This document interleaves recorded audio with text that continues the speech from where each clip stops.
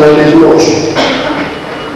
Είδαμε τα στάδια του σκανδαλισμού ειδικά μέσα στην εκκλησιαστική μας ζωή.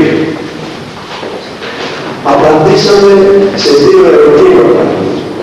Γιατί ο Θεός επιτρέπει τα σκάνδαλα και ποιος είναι ο σωστός τρόπος για να αντιμετωπίσουμε τα σκάνδαλα.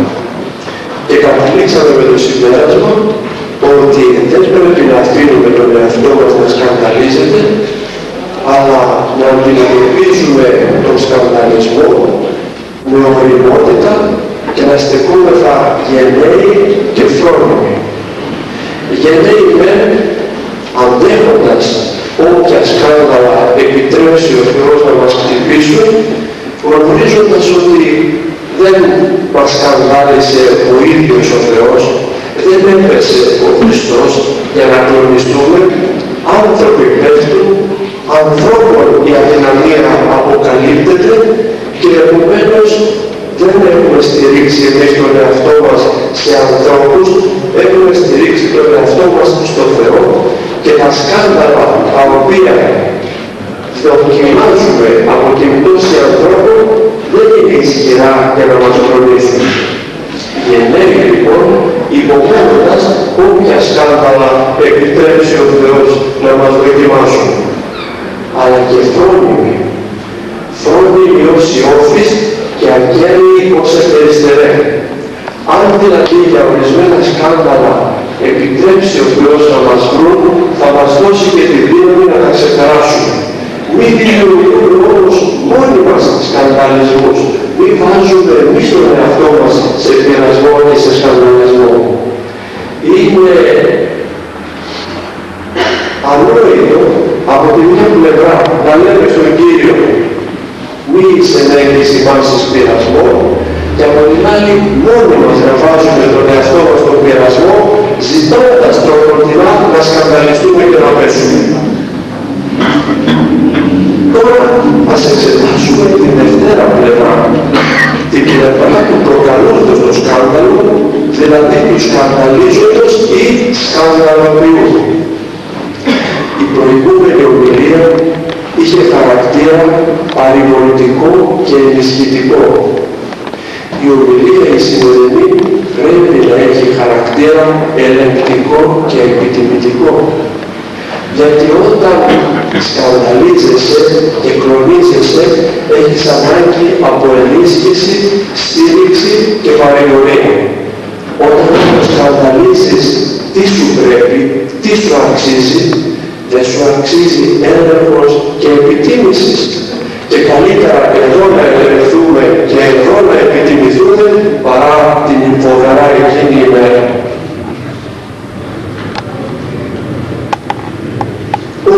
Όλοι κάποτε γινόμεθα έτη σκανδαλισμού.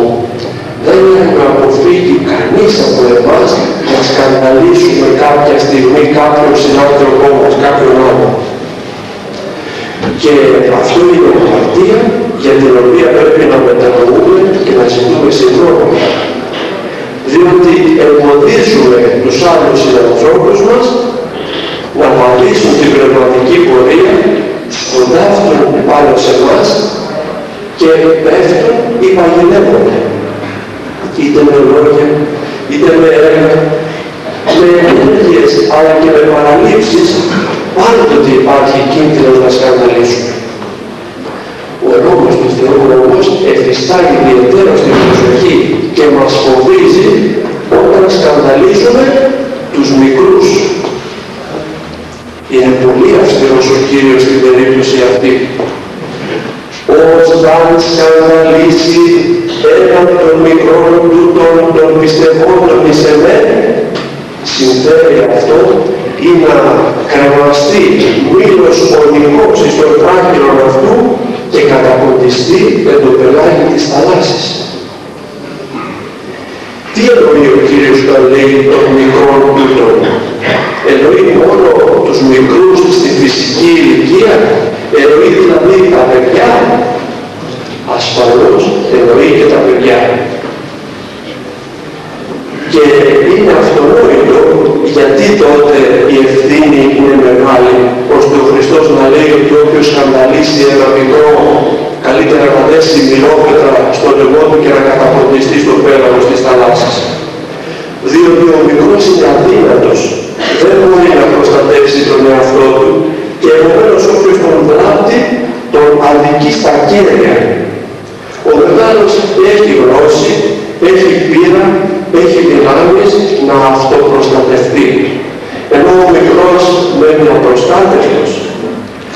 Ακόμη, ο μεγάλος πήρε πια τον δρόμο. Χάραξε την πορεία του. Έζησε τη ζωή του. Απίλασε την ελευθερία του. Διέθεσε τη θέλησή του και τον εαυτό του όπως ήθελε. Ενώ ο μικρός με τον σκανδαλισμό που του προκαλεί ο σκανδαλοποιός χάνει την δυνατότητα να ενεργήσει στο εξής ελεύθερα. Παίρνει ένα λανθασμένο δρόμο, φτάνει τέλει σε αποτυχία, καταστρέφεται. Και την ευθύνη βεβαίως την έχει εκείνος που τον σκανδάλιζε στην πρώτη τρυφερή ηλικία τότε που ήταν δεντράκι αδύνατο και χρειαζόταν βοήθεια, υποστηλώματα και στηρίγματα και όχι χτυπήματα, βαναυσότητες και θύελες που τσακίζουν τους βλαστούς.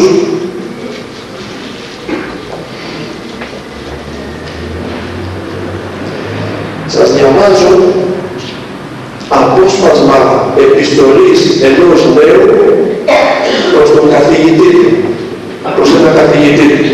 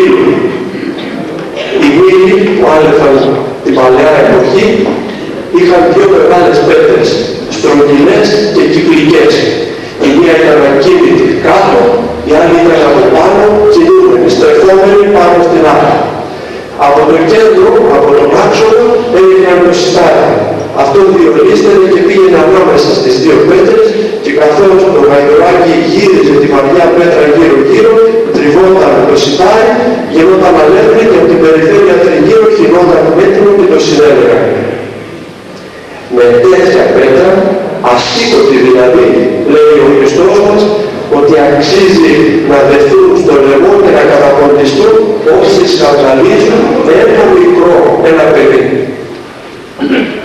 Από τα λόγια αυτά του Χριστού μας αντιληφθούν όλοι τι θα πει να σκανδαλίσουμε ένα παιδί. Ακούτε γονείς που εκφράζεστε μπροστά στα παιδιά σας χωρίς φραγμό στο στόμα με λόγια που σαλεύουν τις αδύνατες ψυχές. Ακούτε δασκάλοι και δασκάλες, καθηγήτριες και καθηγητές που εμφανίζεστε μπροστά στα αθώα εκείνα μάτια αδιάνομα και δίχως φόβο Θεού. Ακούτε όλοι οι μεγάλοι που απερίσκεπτα ή και σκόπιμα ερευνήσετε την παιδική σκέψη και την παιδική καρδιά με τα καμώματά σας. Έπρεπε να μπορούσαν να σηκωθούν από τον τάφο και να μιλήσουν από τον άλλο κόσμο καλλιτέχνες, τραγουδιστές, ηθοποιοί και λοιποί λεγόμενοι αστέρες του παρελθόντος για να μας πούν πόσο μετάνιωσαν και πόσο τιμωρούνται τώρα για τον σκανδαλισμό που προκάλεσαν τότε στην αργή νεολαία που τους είχε ινάλπατα όσο ζούσαν και μεσοαρνούσαν στην ψεύτικη σκηνή του κόσμου του του. Πόσες ψυχές πήραν στο λαιμό Γι' αυτό σε εμάς που ζούμε ακόμη φωνάζει ο λόγος του Θεού. Οράτε μη καταφρονήσετε ενός των μικρών τούτων. Λέγω αλληλήν ότι οι άγγελοι αυτών εν ουρανής διαπαντός βλέπουσι το πρόσωπο του πατρός μου του εν ουρανής. Μην πείτε, παιδιά είναι, δεν βαριέσαι, διότι η φύλλα της άγγελίτους για τις παιδικές ψυχές που ανέλαβαν να προστατεύουν δίνουν ένα πάσα ώρα αναφορά στον ουράνιο πατέρα.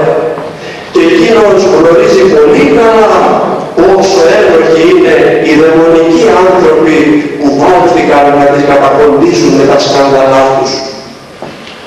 Ας ακούσουμε και τον Ιερό Χρυσόστομο που προτρέπει μηδέποτε τι πράττομεν ό το πλησίον παρέχει την απλάτη. Μην κάνουμε ποτέ, ποτέ τίποτε που μπορεί να βλάψει τον πλησίο.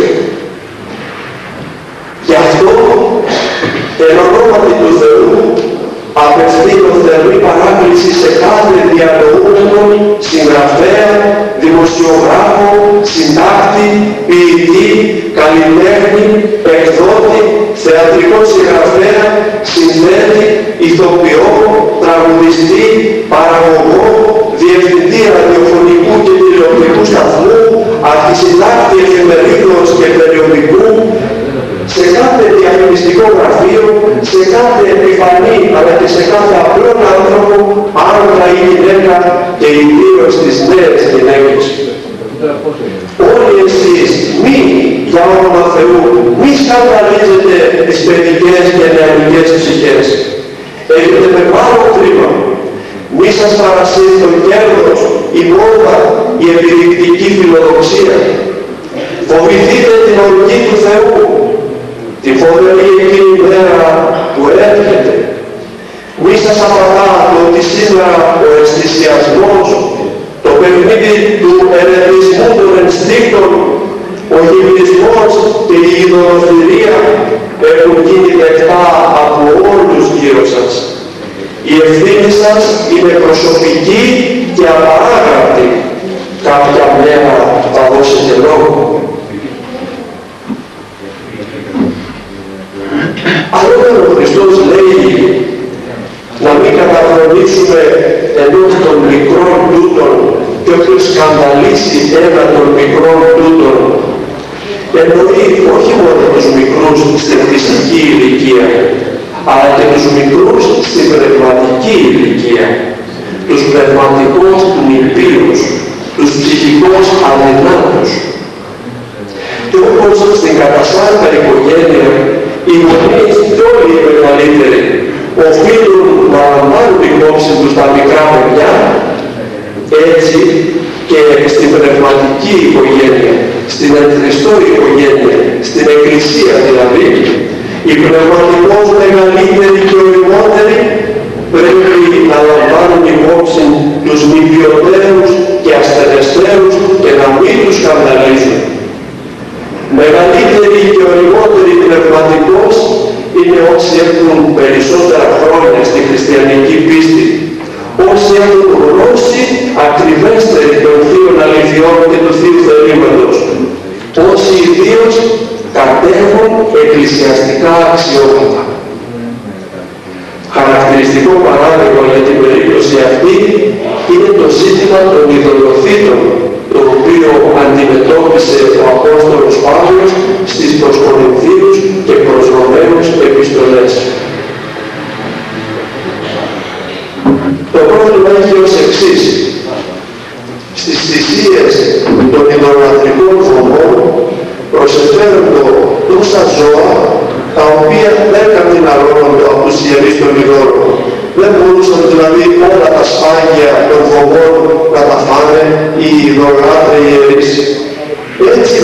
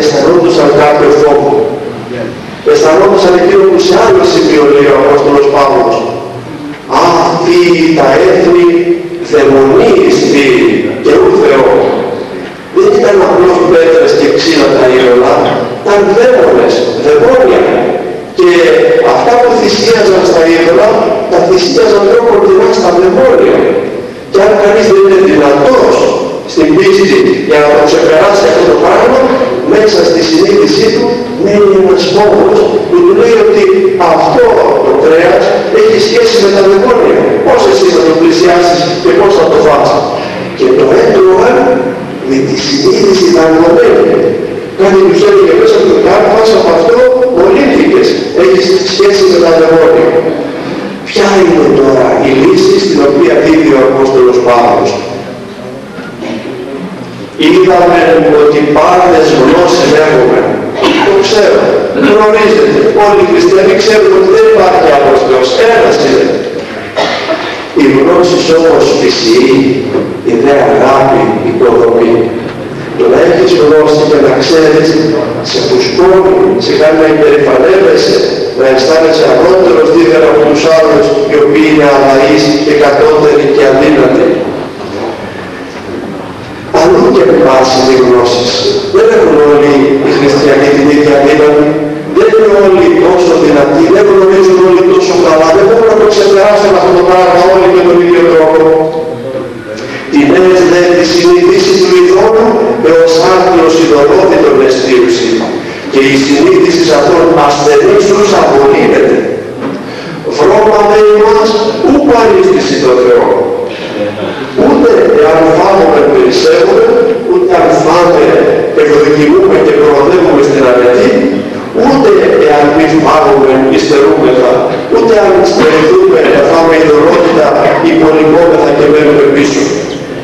Βλέπετε δε μήπως η εξουσία η μοναδική πρόσκοπα γίνεται της ασθενούς. Παίρνετε την εξουσία και έχετε την άδεια να φάτε. Εσείς που έχετε γνώση και ξεπερνάτε το εμπόδιο αυτό. Αλλά προσέξτε, μήπως η εξουσία σας, το δικαίωμά σας αυτό, γίνει πρόσκοπα της ασθενούς. Έχετε δίπλα σας και ασθενείς, αδυνάτους, που δεν μπορούν να το καταλάβουν, δεν μπορούν να το ξεπεράσουν,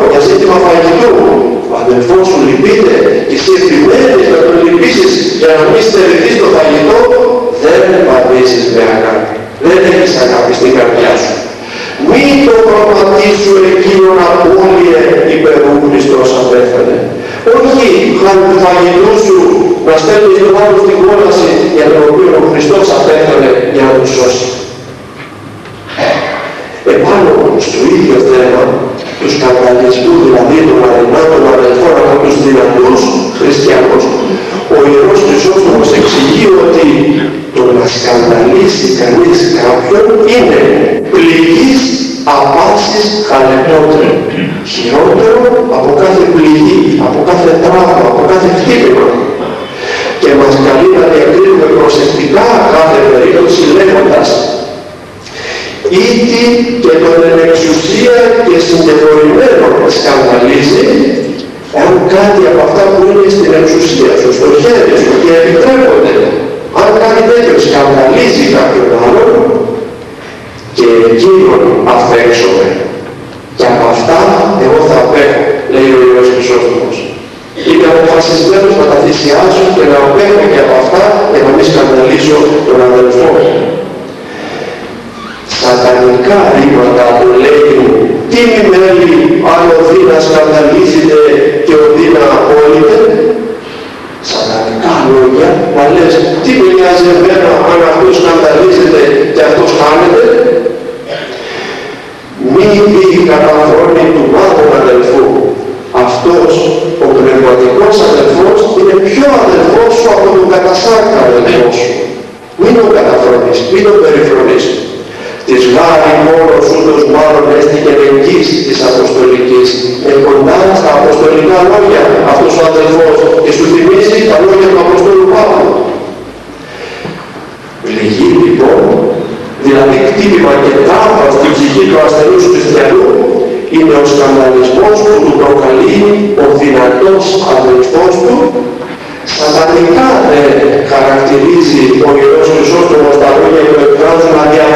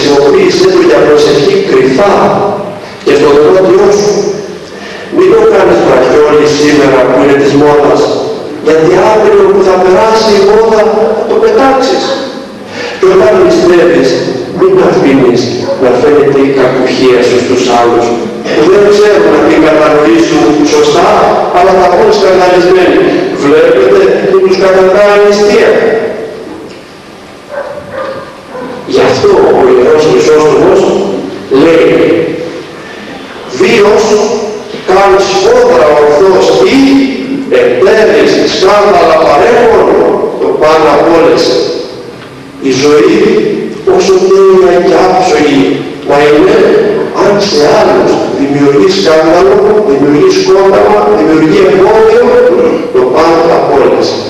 Εσύ νηστεύεις, εσύ προσέχεσαι, εσύ κρατάς το κουμποσκήνι μες στο λεωφορείο ή και περπατώντας και κάνεις προσευχή και ο άλλος διαλογίζεται και λέει κοίταξε, κοίταξε. Γι' αυτό λέω, κάτι τέτοια πράγματα που κυρίως γίνονται της μόδας πολλές φορές. Δεν είναι δηλαδή από υγειά θρησκευτικότητα που πηγάζει μέσα από την ψυχή μας, αλλά πολλές φορές γίνεται της μόδας. Περνάει σήμερα το κουμποσκήνι να το έχεις βάλει στο χέρι ακόμα και διάσημα πρόσωπα, κοσμικά πρόσωπα, έχουν το κουμποσκήνι σαν βραχιόλι. Μα δεν το θέλει το κουμποσκήνι η Εκκλησία για βραχιόλι. Η Εκκλησία το έχει για όπορο προσευχή, δεν το έχει για στόλισμα και δεν είναι της μόδας, που σήμερα υπάρχει και αύριο καταργείται. Βίγα και τον έξω χρόνια που είστε συμπληρώνει ο Ιερός Χρυσόστομος. Πρέπει να προδούμε και για τους έξω να σκεφτόμαστε και εκείνους. Θα πει κανείς, μα έτσι επιβάλλεται ένας ανυπόφορος περιορισμός. Και θα υποχρεώνεται λοιπόν ο χριστιανός να είναι αίσθητος της γνώμης και της κρίσης των εκτός της Εκκλησίας ανθρώπων. Απαντούμε.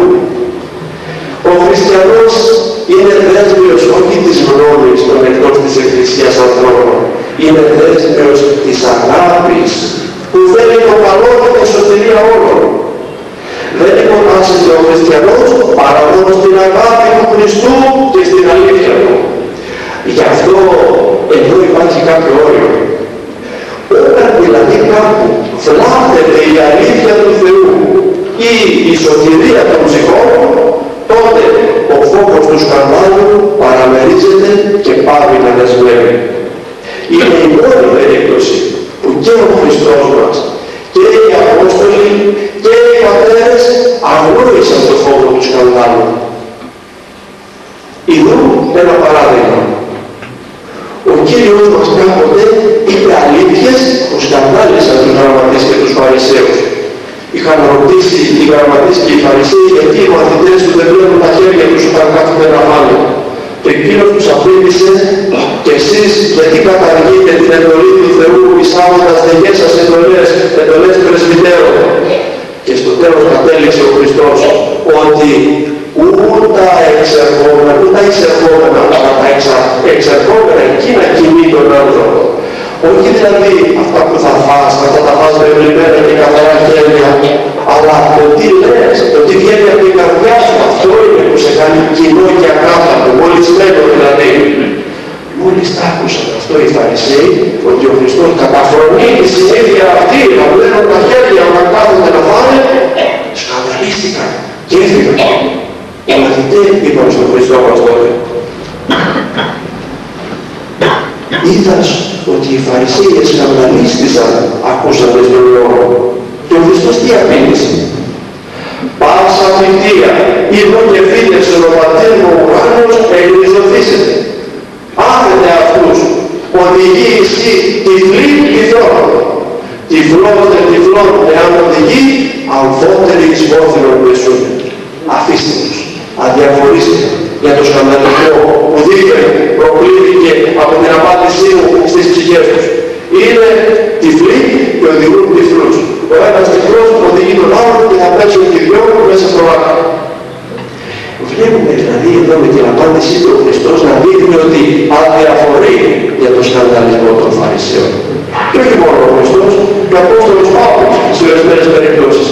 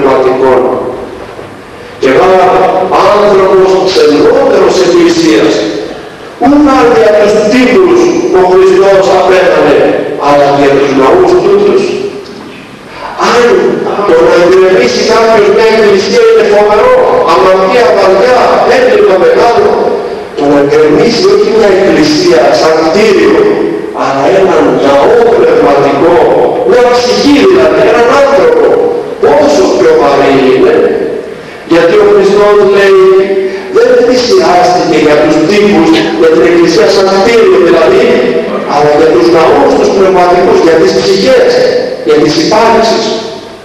Το να σκανδαλίσεις λοιπόν μια ψυχή είναι χειρότερο από το να γκρεμίσεις μια εκκλησία. Ο δε Απόστολος Παύλος προχωρεί ακόμη πιο πολύ και δείχνει γιατί η ευθύνη τους σκανδαλίζοντος είναι μεγάλη. Απαρπάροντες δια τους σκανδάλου που προκαλείται, απαρπάροντες εις τους αδελφούς και τύπτονται σε αυτόν την συνείδηση να στερούσαν, εις Χριστόν απαρπάρεται. Εδώ είναι το αποκορύφωμα της ευθύνης. Μεγάλη ευθύνη τους σκανδαλίζοντος, διότι ρίχνει στην κόλαση μια ψυχή αθάνατη. Μεγάλη ευθύνη τους σκανδαλίζοντος, διότι είναι σαν να γκρεμίζει μια εκκλησία. Αλλά ακόμη μεγαλύτερη ευθύνη τους σκανδαλίζοντος, διότι αυτό που κάνει, ο σκανδαλισμός δηλαδή μιας ψυχής, έχει αντίκτυπο στον ίδιο τον Χριστό. Φύγει το ίδιος ο Χριστός, γιατί αυτή η ψυχή είναι μέλος Χριστού. Πειράζοντας ένα μέρος του σώματος του Χριστού, πειράζει στην κεφαλή. Όπως αν τσιμπήσεις την άκρη του δαχτύλου σου με μια καρφίτσα, το κεφάλι αντιδρά σε αυτό. Πειράζοντας λοιπόν ένα μέλος της Εκκλησίας πήγε στην κεφαλή της Εκκλησίας, τον ίδιο τον Χριστό. Εις Χριστό να μαθαίνετε όταν δείχνετε την συνείδηση, την ασθενή συνείδηση ενός αδελφού, τον σκανδαλίζετε και τον κλονίζετε.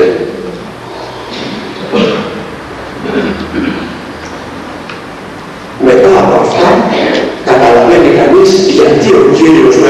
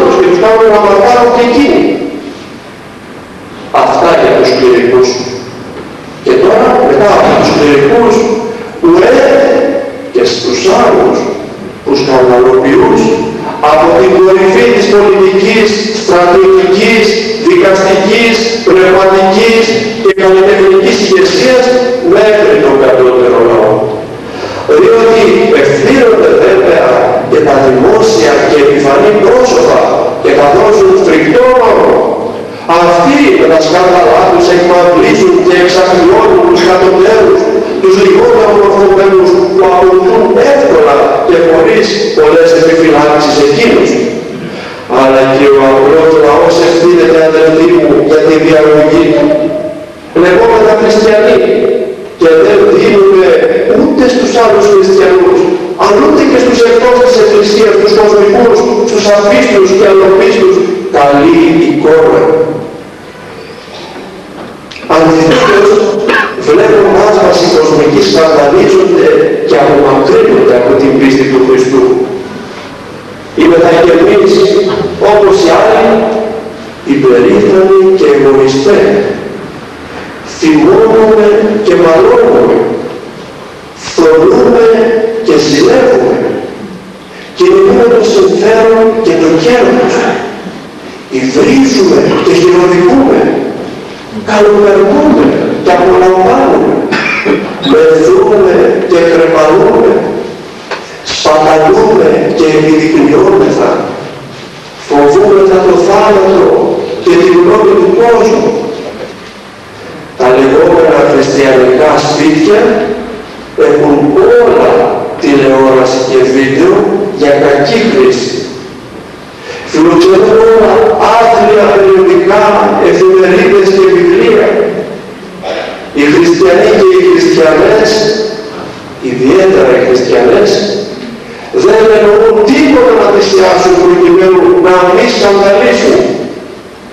Η κόμωση, η ενδυμασία, το παντελόνι και το μήνυ, το βάσιμο, το τσιγάρο, το πιωτό, η επίδειξη της ματαιότητας, η έκφραση και το λεξιλόγιο, η διασκέδαση και ο χορός, οι αστερισμοί και τα τραγούδια, οι βλασφημίες και τα εσχρόνωρα, η αποφυγή της τεχνομονίας και οι φρικτές εκτρώσεις, ιδού σε σύντομη περιγραφή η εικόνα των σημερινών χριστιανών γυναικών και ανδρών. Ποιος άθεος, ποιος άφριστος, ποιος αλόχριστος να ελκυστεί έτσι στη πίστη μας Αντιθέτως, σκανδαλισμένοι απομακρύνονται ακόμη πιο πολύ. Και η ευθύνη είναι δική μας, που και αλλήμωνό μας. Διημάς, ύψιλον, για σας δηλαδή, φωνάζει ο Θεός, εξαιτίας σας, βλασφημείτε το όνομά μου εν της έθνες. Για μας, εξαιτίας των σημερινών χριστιανών, το όνομα του Θεού, της χριστιανοσύνης, της Ορθοδόξου Εκκλησίας, βλασφημείται. Ιδρύς, να είναι χριστιανοί. Αδελφοί και πατέρες, τα πράγματα είναι σοβαρά. Λέμε ότι σκανδαλιζόμεθα εμείς από τους άλλους. Τώρα όμως τίθεται το ερώτημα. Μήπως και εμείς σκανδαλίζουμε άλλους, μικρούς και μεγάλους, πιστούς και απίστους και ασφαλώς σκανδαλίζουμε. Πολλές φορές με ένα βλέμμα ένα μορφασμό, μια κίνηση, ένα χαμόγελο, μια προσεξία, μια ελαφρότητα, μια χαλαρότητα, μια αφέλεια. Σκανδαλίσαμε και σκανδαλίζουμε. Γι' αυτό τώρα ας μετανοήσουμε και ας διορθωθούμε. Πώς θα διορθωθούμε; Μας το λέει ο Απόστολος Παύλος με την απόφαση που πήρε ο ίδιος για τον εαυτό του. Που μη φάγω κρέας εις τον αιώνα για να μην τον αδελφό μου σκανδαλίσω. Χρειάζεται δηλαδή θυσία. Πρέπει να θυσιάσουμε ακόμη και δικαιώματά μας. Ο πατέρ Αυγουστίνος στην Κοζάνη και στα Γρεβενά στα χρόνια της κατοχής για να μην σκανδαλίσει τον πεινασμένο λαό έβαλε κανόνα στον εαυτό του να μην τρώει κρέας και να μην γευτεί ούτε κουκιά από το συσίδιο που ο ίδιος είχε ιδρύσει για τους πεινασμένους. Κάποτε και εμείς πρέπει να στηριχθούμε και από ορισμένα θεμητά και επιτρεπόμενα προκειμένου να μην σκανδαλίσουμε τους άλλους και μάλιστα τους νεοτέρους και τα παιδιά μας που είναι ιδιαίτερα ευαίσθητα. Ο Ιερός Χρυσόστομος λέει καν αυτός ο Χριστός επί τετρακόστη, δηλαδή κι αν ο ίδιος ο Χριστός σου έχει επιτρέψει κάτι, σου έχει δώσει κάποιο δικαίωμα, σου έχει δώσει κάποια εξουσία, ή της δε την αυλαπόμενο, επίσκες και μη χρήσεις η Επιτροπή. Συγκρατήσου, αν δεις ότι βλάπτεται κάποιος από αυτό το δικαίωμα που έχεις και μην κάνεις χρήση του πράγματος αυτού που σου επέτρεψε ο Χριστός. Πρέπει να διορθωθούμε λοιπόν. Να διορθωθούμε για δύο λόγους. Και για να σώσουμε τις δικές μας ψυχές, αλλά και για να ελευθερώσουμε και τον άλλο συνανθρωπό μας από το σκάνδαλο που του προκαλούμε. Ή βούλη, λέει ο Ιερός Χρυσόστομος, εάν θέλεις κακίνον ελευθερώσεις σκανδάλου και αυτός που ιδίων απολαύσε μισθόν, τον βίον διόρθωτον σε αυτού και πάντα απολάβει ποιή. Δηλαδή, κάνε τη ζωή σου να λάβει από ακρίβεια και συνέπεια Ευαγγελίου. Και τότε και εκείνον που σκανδάλισες θα απαλλάξεις από τον σκανδαλισμό και στον εαυτό σου θα εξασφαλίσεις μεγάλο μισθό, το μισθό της Θεοτήρου Σωτηρίας. Αμήν. Άγιος Κοσμάς ο Εκτολός όταν λέει περνούσε και μιλούσε και όταν η ώρα να τους αποχαιρετήσεις και να φύγει ζητούσε συγχώρηση μήπως τους σκανδάλισε. Και εγώ απόψε με όσα είπα ζητώ συγγνώμη αν σκανδάλισα κάποιον. Ακούστε δύο-τρεις ανακοινώσεις σήμερα και είστε ελεύθεροι. Τα βραδινά κηρύγματα συνεχίζονται κανονικά, το επόμενο την άλλη Κυριακή 23 Φεβρουαρίου και ώρα 7 τα μαθήματα τα γνωστά. Έτσι, της Αγίας Γραφής κάθε Δευτέρα βράδυ, ιδιαιτέρως από το συνιστό, υπήρχε αύξηση την περασμένη Δευτέρα στην προσέλευση. Το νέο κάθε Σάββατο βράδυ ώρα 7 και το μαθητό της Αστραπής. Η εργοδοσία που είναι την περασμένη Τετάρτη, μετά από την έντονη υποτροπή του Παγκόσμιου Χρυσοστόμου, είχε κάποια πρόοδο. Βέβαια, ακόμη δεν φτάσαμε στο επιθυμητό σημείο. Αν μερικοί και μερικές δεν πρόλαβαν να δώσουν τότε και θέλουν να δώσουν, να σε επικοινωνήσουν με το γραφείο για να τους πούμε πώς μπορούν να δώσουν τέλη. Σας πληροφορούμε επίσης ότι έχει κυκλοφορήσει το τέλος της Άλγηρης Ορθοδοξίας. Όσοι θέλετε να μαθαίνετε νέα από τη Φλόριντα για την κίνηση του Πατρός Αυγουστίνου, το πώς λειτουργεί, τι θέματα διαπραγματεύεται, τι χειροτομίες κάνει, τι βαπτίσεις γίνονται κλπ. Παίρνετε τις άλλες της Ορθοδοξίας. Τέλος, για τη σημερινή αφετηριακή ημέρα της εισόδου μας στο Τριώδιο, Κυριακή των Όρων και Φαρισαίων, ευχόμαστε σε όλους να αρχίσουμε θεαρέστος τη νέα αυτή περίοδο του εκκλησιαστικού μας έτους και να μας αξιώσει ο Κύριος να εισέλθουμε και στην περίοδο της Αγίας και Μεγάλης Τεσσαρακοστής